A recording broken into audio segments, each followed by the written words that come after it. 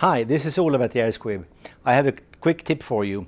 If there is stage blood residue inside the tubing after you've fired and you want to pack it in, the, in your case, it's very common that you blow in one end and try to get rid of the, uh, the blood residue. But I have an even better idea. Spin the tubing, hold it in one end and spin it quickly in the air and the centrifugal force will throw it out and the tubing will be almost as good as new on the inside. Just a quick, quick tip for you. Take care. Bye bye.